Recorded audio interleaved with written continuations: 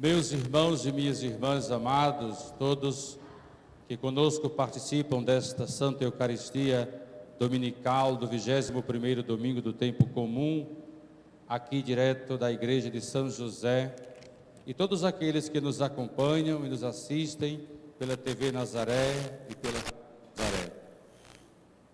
O evangelho de hoje é a conclusão do capítulo 6 do Evangelho de São João, o discurso do pão vida. O pão da vida que é Jesus que se dá para nós, seja pela palavra, seja pela Eucaristia.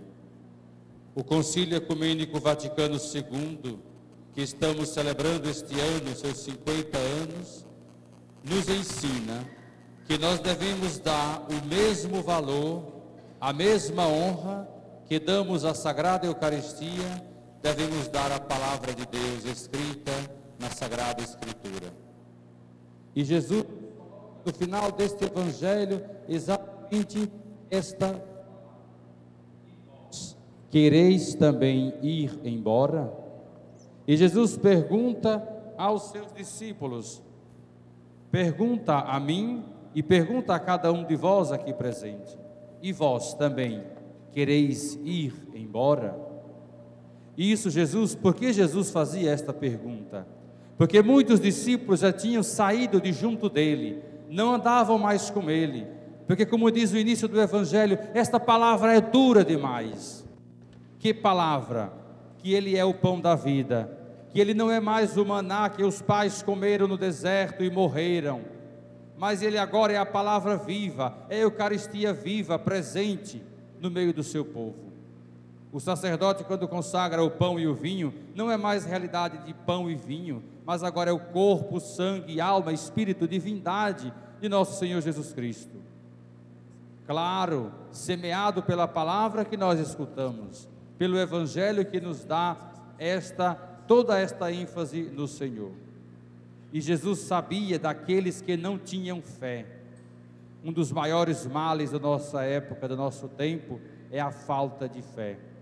Por isso que levou o Papa Bento XVI a instituir um ano da fé, que será aberto este ano no dia 11 de outubro.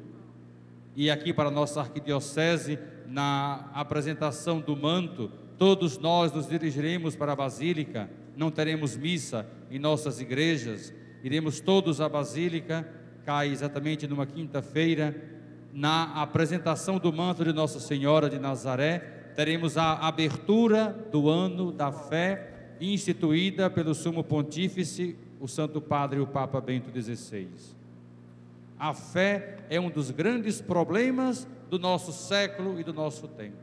E Jesus sabia daqueles que não tinham fé, e mesmo dos judeus que não aceitavam, que não o acompanhavam e que não queria, o queria como que como não somente como porta-voz de Deus, mas como Deus mesmo em figura humana, Jesus Cristo falando para eles. E aí Simão Pedro vai dizer: A quem nós iremos, Senhor?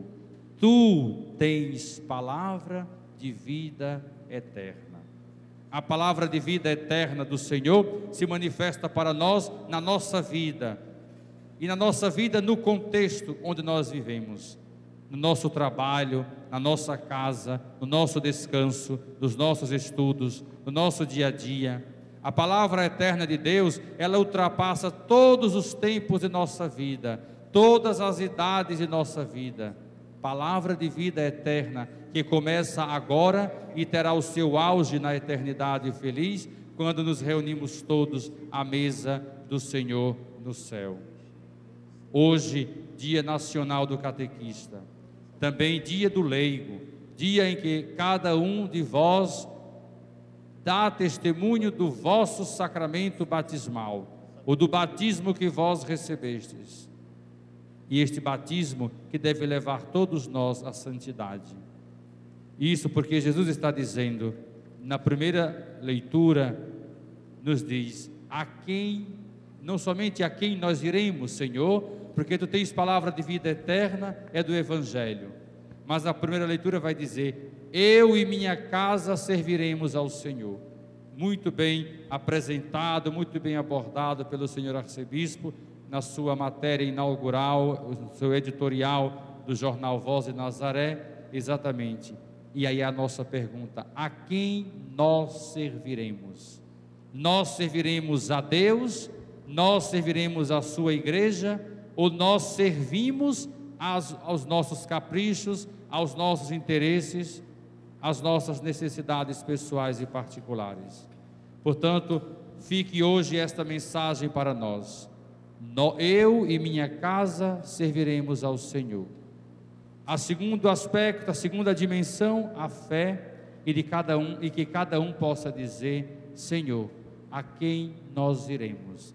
Só tu tens palavra de vida eterna. Assim seja. Amém. Seja louvado nosso Senhor Jesus Cristo. Para sempre seja louvado.